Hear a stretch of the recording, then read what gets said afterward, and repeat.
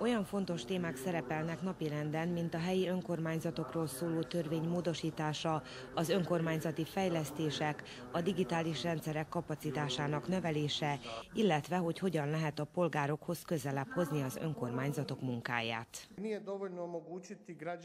Nem elegendő lehetővé tenni azt, hogy a polgárok részt vegyenek a kulcsfontosságú döntések meghozatalában ott, ahol élnek, annak még nagyobb a jelentősége, hogy részt vehessenek a meghozott döntések megvalósításának az ellenőrzésében.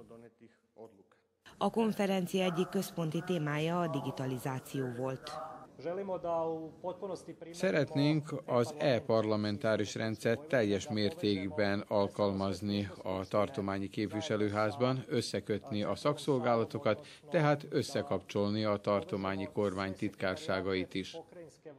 A résztvevők a helyi önkormányzatokról szóló törvény módosításával járó változásokat is megvitatják. A helyi önkormányzatoknak kötelességük és most már kötelező szabály is, hogy közvitákat tartsanak a költségvetési döntések előkészítésének folyamatáról, és ez nagy mértékben lehetővé teszi a polgárok számára azt, hogy részt vegyenek a döntéshozatalban. A tanácskozáson több mint száz önkormányzati képviselőtestület elnöke, illetve képviselője vesz részt. A Csókai Községi Képviselőtestületnek 25 tagja van. Csóka község képviselőtestületének munkájának fejlesztésében fontos célok közszerepel a modernkori digitalizációs technológiák bevezetése.